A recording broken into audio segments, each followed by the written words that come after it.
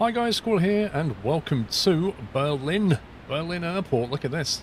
I've actually been here, and I can tell you, it looks accurate. It actually looks like this. Phenomenal. This is my first look video of The Bus. The Bus, developed by TML Studios and published by Aerosoft. Now, if you know TML Studios, they have a history of making bus simulators, with of course Munich Bus Sim back in 2014, I believe, Fernbus Sim 2016, and more recently Tourist Bus Simulator in 2018. Now, according to Steam, the bus describes itself as the next generation of city bus driving simulation set in the capital city of Berlin on a realistic one-to-one scale. In this, my first look video, guys, I'm going to take you through the good, the bad, and the ugly of TML's latest bus simulator.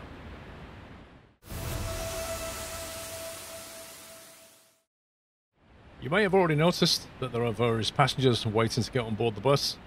Some of the modelling, in fact, some of the some of the style of the game may be familiar to you if you've already played a TMS TML sorry bus simulator title. Uh, it is of course built on the Unreal Engine, as was uh, Fernbus and Bus Simulator, I believe. And essentially, on the Steam page, it describes itself as the ability to transport passengers on different lines across the city with various buses, manage your fleet and team up with other drivers online.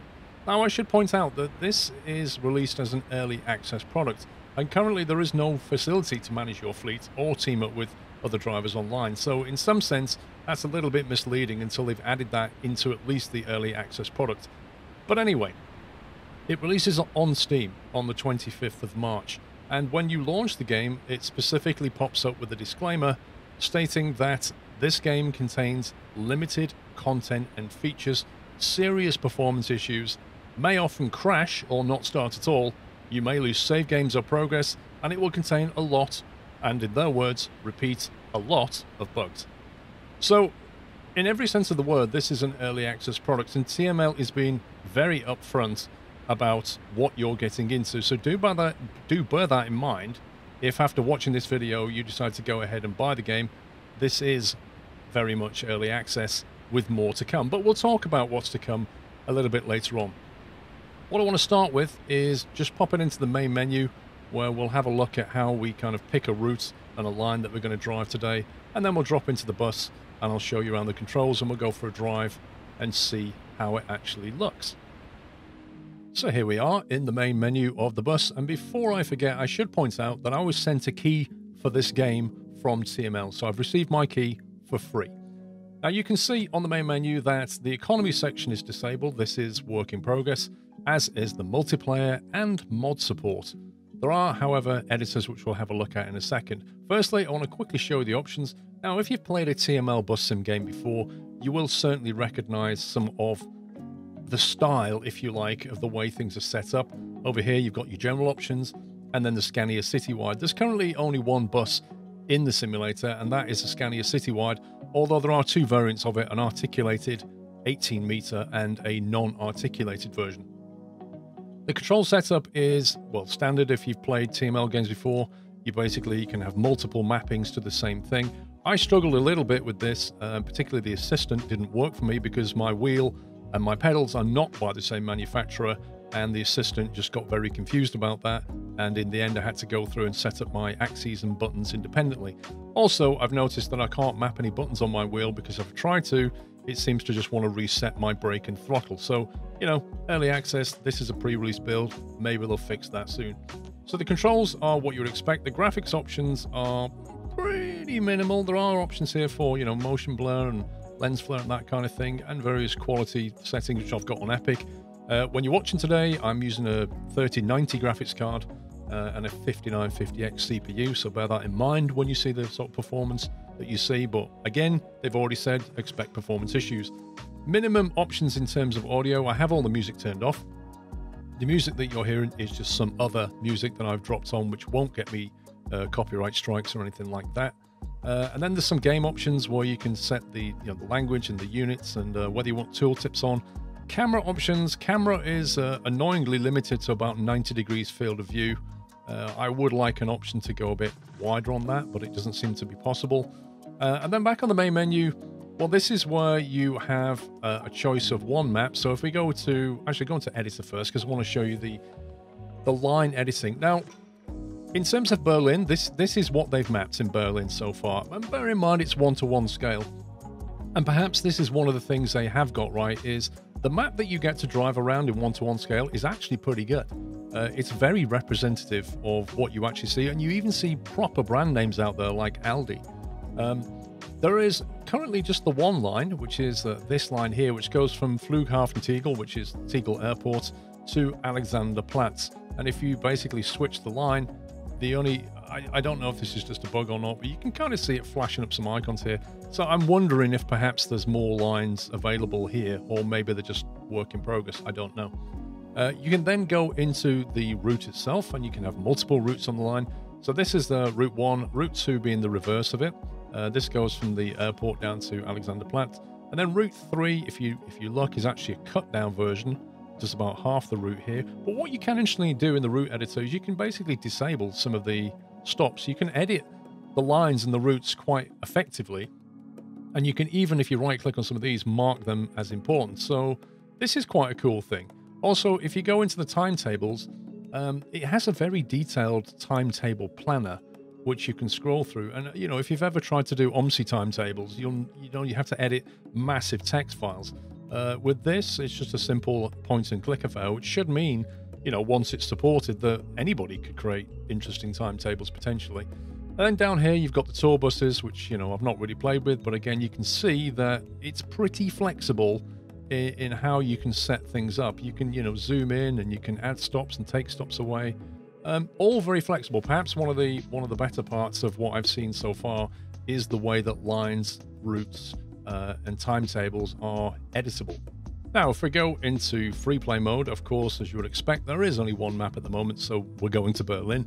And there it is, there's the vehicle choice. You've got the citywide 12 meter and the articulated 18 meter. We'll just take the 12 meter out today. Control mode, um, I have it on realistic. Essentially, it turns off all of the automation side of things. Uh, and start directly from bus stop down here. It's not implemented yet because you can't actually start from the depot right now. Uh, then you've got the line in the tour. So what we'll do is we shall pick a, well, you, but that's another thing you should mention. When it comes to the weather, the time of year has an effect on the weather. So if you're set, set yourself in January, uh, then if you have precipitation, it will more likely to be snow than anything else. And similarly, the, the daylight hours will change, etc. So we're just going to go into June and we'll pick a start time. Now, the start time dictates the tour that you get. And if you remember, um, Tour 1 was the full tour, Tour 2 was the reverse, and Tour 3 was the kind of halfway house. So we'll just go forward to 7.54 a.m., which will put us on Tour 3, which was the, uh, the cut down version. But even now, you can actually, it shows you where you're starting, but you can actually disable, um, sorry, pick your starting points uh, even here. So you don't have to do the full thing. You could start further down at the train station if you wanted to, which, you know, again, pretty flexible. Like, I like that stuff. And then finally, the weather. Um, the weather, you can fix the weather down or go for dynamic, which will just kind of flow through the different weather systems, which are what we'll pick. I'll talk about this later about future features planned, but one of them is to have live weather. So it will, I guess, look at what's going on in Berlin, or maybe let you let you pick any city around the world like you could with OMSI, um, and then it will pull the weather from online and inject that into the sim, which will be quite cool, but not currently supported. So let's click on start, and then we'll go through the bus startup and go for a drive. Well, of course, I went for dynamic weather, so the game went, you know what? We'll give you some rain. Okay? Summer showers it is. So here we are in the game. You can see passengers are queuing up already. And uh, we'll just go over here and we'll jump into the bus. So we walk over, we click on the door, and it will just let you in. Now, in terms of modelling, you've probably seen the Scania type buses in um, in TML Studios games before. I don't know if they've directly just lifted this from the other bus sims, maybe, maybe not. But, you know, the modeling is pretty acceptable. We'll press the C key, and that will jump us into the into the bus driving position. I was going to say cockpit then, but this is not a flight simulator. Although arguably you can probably call it a cockpit. First thing I note is TrackIR is supported in the game, which is great to see. So we've got that. And what we want to do is start up. So I'll put the ignition on. And then I'll hold the ignition. You'll notice that the bus immediately started and knelt down, bowed to the passengers. Um, and that's that's pretty much the startup procedure done. What I want to do now is just flick around some of the uh, controls. So if you press the 5 key, it brings you down to the sort of lower panel here where you can control the aircon. Incidentally, although these buttons actually move, I don't believe that the passengers are in any way bothered about the temperature on the bus yet. I would imagine they'll implement that again later.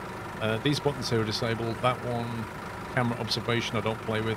Parking brake is here. Uh, some of the lights on the bus, and then opening various latches. Press the 6 key, brings us up to the left control where we can indeed turn the lights on. We're going to do this stuff in a second. I just want to walk you through and give you a sense of uh, what's clickable and what isn't. And then the 7 key brings you into the main dash. Uh, the 8 key brings you over to uh, where you can control the doors and the gear, that kind of thing. Lift up and lift down, which you know does actually work if you press lift. Sorry, kneel up, kneel down. Actually, it's because the door's locked. Normally, this if I shut the door, let me shut the door, and then I press the down button, you can see that you know it is active, fully operational. Press the 9 key brings us over to the computer system, which we now need to start up. And then we need to enter the tour number, and it handily tells us the tour number of 67103. We press enter, and the passengers will immediately start getting on board. Because out on the front of the bus, let me just make sure the passengers. Oh, there you go. Out on the front of the bus, it actually now enunciates on the front bar where we're actually going. And one of the passengers wants a ticket. The money the economy system is about is going to be built in the future, but you know, so this money doesn't really go anywhere, but it doesn't let you, you know, purchase tickets and deal with the cash. So single ticket, single ticket, AB, uh, three euros, press on the bar key, issues a ticket, take the money, four paid. We need to return one euro, and the passenger goes away happy. So I've not noticed any passenger interaction other than that. So they've not spoken to me, they've not, you know, asked things. That's what you get currently. I expect that that will change at some point. Another thing that keeps catching me out, I press the 1 key to go back to the main camera position, and that's actually the 2 key. The 1 key is an external camera, so that keeps catching me. Right, turn the aircon on with G, so we'll turn the aircon on, uh, close the door, like that. Uh, we're about to put some wipers on. So yeah, the wipers work accurately. Don't know if it asked me to put the lights on, but I'll put the lights on anyway because it is raining. I don't think it did. I think it asked you at night, but not when it's raining. Go for intermittent, I wonder. Right, hold down the brake, and then put it into gear, put it into drive, and then press the accelerator. And of course it doesn't want to go because I put the parking brake on.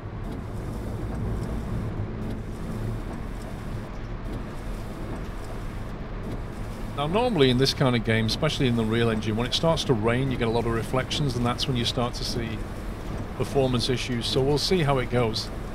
Uh, but so far it seems to be coping reasonably well. I think on the whole the frame rate seems to be pretty good.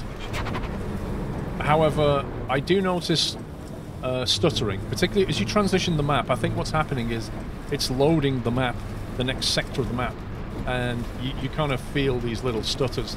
Um, but performance issues is one of the things that's listed as a problem and definitely is one of the things on the roadmap. So, you know, bear that in mind. The AI is... Hmm, how do I put this?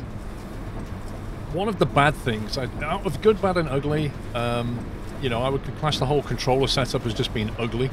It really is ugly. It's very unrefined controller setup currently. Uh, the AI is bad. Um, It's aggressive at the best of times. And you can see them being brake tested quite a bit. You'll often find yourself driving along and then you'll get to a T-junction and somebody will just come barreling out the T-junction straight into you. Or when there's traffic merging, that's when you tend to see a lot of problems. Traffic merging can be horrible. You know, it is what it is. I've dialed the traffic density down because on 100% it is just horrid. Uh, so I've, I've dialed it down to about 70% I think and that seems to make things much more manageable. Uh, it does knock off the indicator, by the way. If you put the indicator on, you turn the wheel. When it straightens up, it, it disengages the indicator, which is a a nice little touch. In terms of the mapping, you probably see when you're looking out the window here, it's like graffiti on the walls, one-to-one -one scale. When we get into the more urban areas, you will see people walking around. I think perhaps one of the things, as well as probably the route editing, the one thing they've done well is the mapping. It is, when you look out the window, quite believable uh, in terms of its scale, in terms of the AI cars on the road, uh, the parked cars, people walking down the street. Normally there's more people walking down the street. I don't know if that's a factor of the weather or we'll start to see more of that later. But normally, you know, it, it actually feels like a like a living, breathing place that you're driving through, which is a very, very welcome change. So, oh, there you go. There's people walking around in shorts now. Yeah, okay. So it was just where we are, I think. Uh, you'll see garages. I don't think that was a, a BP. A Burger King. So, like, real names. Here we go. Here we go. Now, I expected him to dive on us. Actual brands is, is again, a refreshing thing. So I presume they've got licenses for this stuff. So this is definitely the better part of the game so far, is this is Berlin, and if you know Berlin, I'm pretty certain you will recognize a lot of this, and it feels like Germany. Definitely a plus for that. We're about to come up to a stop, I think. So we'll get the indicator on shortly.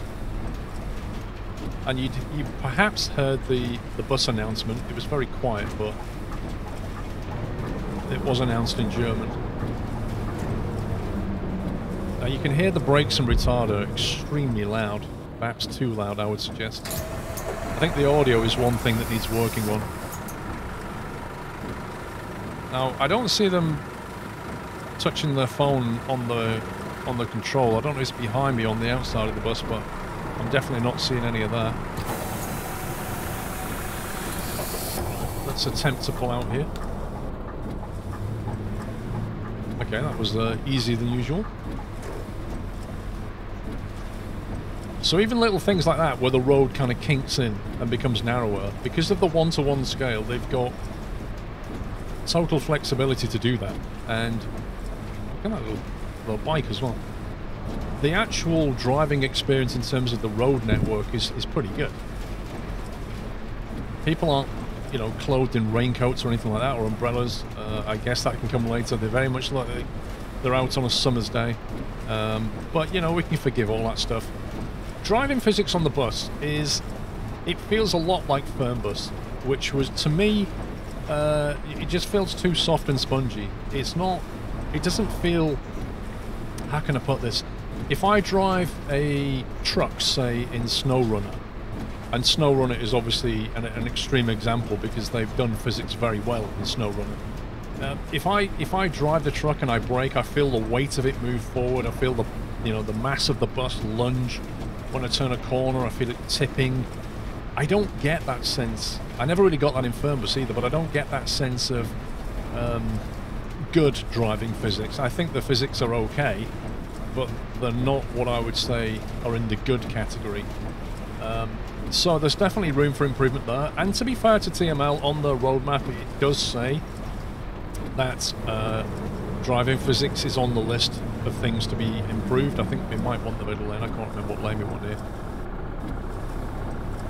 That looks like an MAN truck, but without the badging. I'm surprised they didn't get a, uh, a license from MAN. If they got a license from Burger King and didn't get one from MAN, that's quite surprising because they've done MAN stuff before. Now, the roadmap itself is uh, effectively a Trello board. I don't know if you're aware of Trello or not, but it is a Trello board that you can go and look at, and you can see. And it's split into three phases, and we're currently in phase one. And what's not clear is when the different phases are going to be worked on. Okay, I'm not sure what that was for. Certain beeping sounds. It's not clear when the phases are going to be worked on. So, we're currently in phase one and I'll tell you about what they're planning for phase one. Look at this area here. This looks uh, this looks pretty pretty authentic, doesn't it? This is nice. Okay, let's open the door.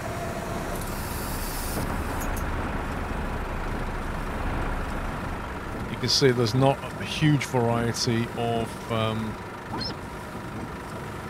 models of AI at the moment. Passengers are squeaking a bit. I think the rain's stopping.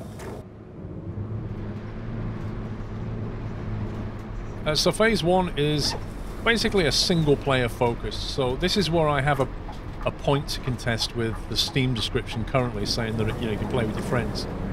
By their own admission, phase one is a single player experience. So, you know, for the foreseeable future, I would suggest that you're not going to see multiplayer.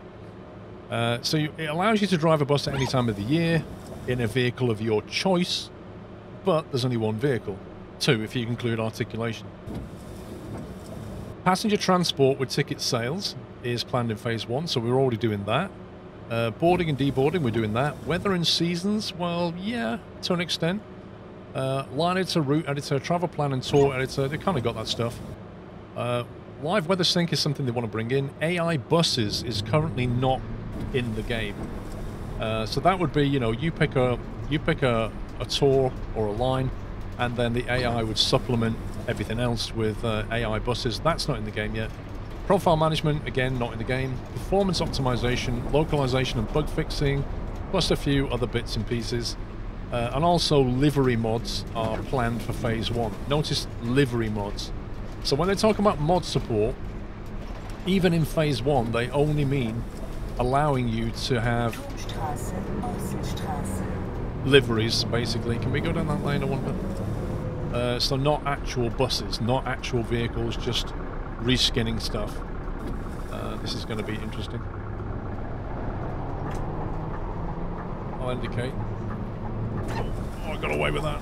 Let's turn the wipers off now. So yeah, note the lack of modded vehicles, um, or even any other vehicles being released in Phase 1. So if you buy this game now, what we're basically saying is, you can only drive these two variants of the Scania bus. You will not, we will not be getting any other vehicles in the game, and there will be no modded vehicle support in Phase 1 for however that lasts. So bear that in mind if you're deciding to take the plunge and buy this game. Okay, we're getting some frame issues here.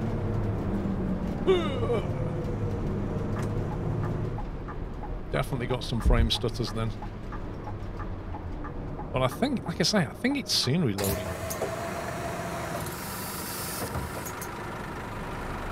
And, oh, you want a ticket? There we go. Press the 9 key. Uh, what do you want? Single ticket AB, three euros. Give me a dosh.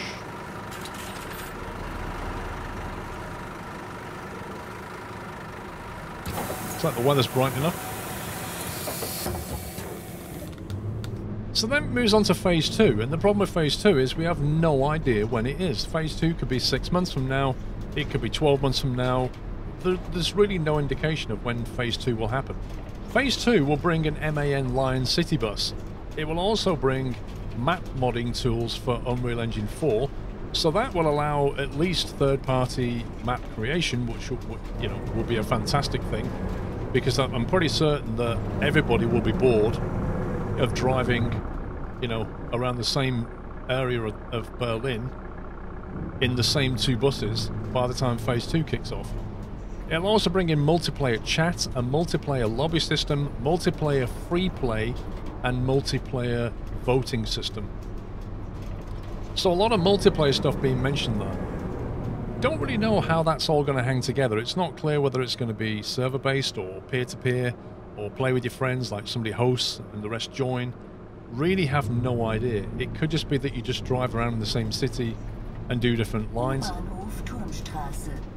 I mean, I kind of get the need for the, the, desire for multiplayer in a bus sim, but it's kind of redundant in a way because you can't really drive together. Like the whole point is that you drive separate lines, so you just kind of you're like ships passing in the night. You're just, oh hi, there's Jeff. Right, well I won't see him for another hour, so I don't really fully get the multiplayer experience in a game like this. But maybe that's just me. There'll also be full controller support. Not really sure what that means, to be honest, full controller support. Certainly, they need to revamp the controller mapping support right now because it is clunky and um, in need of an update, I would suggest. There's also going to be then AI trams brought in and Steam Workshop support. That's all planned for Phase 2. Again, no idea when that is. Phase 3 brings a VDL Citea uh, single and articulated buses, an economy system, So right now, you're you're basically buying and selling. You know, what you're selling tickets and taking change, right? But you're doing it for no other reason just than that's what bus drivers do. In phase three, they plan to bring an economy system in, so that allow you to create your own bus company. It'll allow you to buy and sell vehicles, hire and fire staff, deal with repair expenses on buses, and generate income from ticket sales. So phase three is where you get to the point where you're not just driving, you know, a bus just to experience bus driving, but you're actually layering on top a sense of you're owning a fleet of buses, perhaps, which we've seen in, in other bus simulation games before. Uh, and you're you're then growing the company, managing a fleet, and trying to turn a profit from taking passengers' money, which is an interesting one because you know they're going to have to realistically bring in some kind of government contracts because most bus lines run at a loss anyway. Let's face it, in real life, they're all government supported and government backed.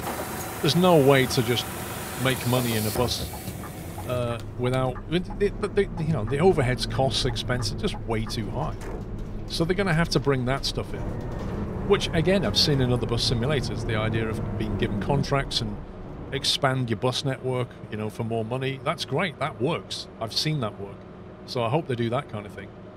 Uh, but there's no mention in in any of these phases there's no mention of third-party vehicles or modded vehicles. There's no mention of anything being added other than uh, the two Scanias, the MAN, and the Citea. Like, so even after Phase 3, which I don't know how long that is, and early access games, you know, there's early access games that have run for seven or eight years. Some are even still in early access after seven or eight years. Um, I won't name names, I'm sure you know who they are. But the point is, an early access game is a very unless you couple your milestones with dates, there are no expectations over when things will happen. So by the end of phase three, whenever that happens, we'll have a bus game with a few vehicles, uh, multiplayer support, maps that can be created by third-party people, uh, better controller support, better AI, better performance, live weather, and that's basically it. Now, one of the big attractions for OMSI, for example, was that it had the ability to to get third-party vehicles, for modders to get their hands on stuff, to create vehicles that the developers don't create. And that was a big attraction. It really was. Liveries just aren't enough at the end of the day. So I'm kind of, you know, I'm I'm looking for that stuff. I'm looking for the bigger picture. I'm also hoping that the mod map support will also bring with it everything outside of Berlin. So the map modders could, for example, create a London network. I mean, I would love to see a London network implementation. Um, but I accept that, you know, TML are not going to be able to do everything. They've got their hands pretty full. That's fine. You guys develop the base game. Let the community or third-party companies build other maps, build other buses. That's where we want to be. What we need from a game like this is the base game to be rock solid perform well, give us the flexibility we need, and give us the mod support we need. I don't know if I'm really feeling that right now from this game. I don't know if they're going to go in that proper direction. Um, I've not really seen them do that with any previous TML games, so I'm, I'm reluctant to think that they will with this, but maybe they will surprise me, I don't know. I just want to see the game opened up so that we can get full vehicle and map modding. I'm sure everybody does too. One-to-one -one maps is... I mean, that's... You know, Euro Truck and ATS are like 1 to 19, 1 to 20 ratio. You know, what we're saying on a one-to-one -one map is, if it takes me 10 minutes to drive from one stop to another in this game, that's how long it'll take you in real life. Like, that's one-to-one -one scale. It's a big effort from any map modder, though. It's, it's a lot of work, but it really pays dividends frames you can see probably, I can certainly tell, was stuttering like crazy. So, uh, again, I think I think the map loading is what causes the issues. So yeah, there's there's definitely issues here. In summary, that's where we want to be. In summary, what do I think about this game? Is it worth you splashing your cash on this game right now? I would uh, my in my humble opinion, and you know, you can see what you can see. I've tried to tell you what's in the game, everything that's here, everything that they're planning. In my humble opinion, it is too early yet. It's too early to buy into this game. You can go and spend your money now, and you'll be able to drive up and down Berlin in these two buses, and you'll probably have a good time. However long that will last, I don't know. But you're also got to accept that this, you know, the game's perf not performing brilliantly. It may crash. They may bring features in later that destroy your save games. You are very much early, early access. I think too early, personally. I think, you know, it's running fairly stably for me, but there's just not enough meat on this bone right now. There's just not enough here. I'm enjoying driving around Berlin, don't get me wrong and I'm enjoying driving around in this bus. But I'll probably play it for like 10 hours, 20 at most, and then I'm just going to kick back and wait until they drop more content. That's where it is. That's the reality of it. So if you want to get in and you want to kind of help them, you know, support the game, if you like, support the developer, support the publisher, uh, help them to build this, then then yeah, you know, go for it. But go go in with your eyes wide open. Know what you're getting into. I can't stand when we see people buy a game and then refund it after an hour and rip into the developer and publisher about how it's buggy and there's stuff missing. It's like they literally tell you this. they, they're really upfront about this. So you can't knock them for that. They're being very open. But like I say, in terms of the average Joe in the street, it's probably a bit too early to uh, to buy into this game, but you may want to accept that and do it anyway, and that's your money, your choice. I'm just giving you, you know, what I think. I think maybe I, I you know, if I was, bearing in mind I got my key for free, if I was gonna buy this game, I'd probably wait this year after like six months after release, just see where the game's going, seeing if those that Trello board's moving, seeing if those uh, features are being added, um, what rate that you know how engaged they are with the community how receptive they are to uh, changes and feature suggestions things like that. That's what i'd be looking for. I, I, am hopeful. We are really lacking like a really good bus simulator. I would like to think that this might turn out to be that bus simulator. I just i just don't know. I think i've seen too many failed projects in my time. So i'm you know reluctant to tell you to go out and buy this right now that has been my first look video. I hope you've um, appreciated my first look and uh, my thoughts on it, where it's at, where it's going, what you see. Uh, it's definitely it's definitely got potential. It's just whether that potential, you know, bears fruit. But you know, I think we'll leave the video here because otherwise it's going to be too long. So I shall bid you a farewell. Please give me a thumbs up if you enjoyed the video. Until the next time, take care, guys, and happy driving.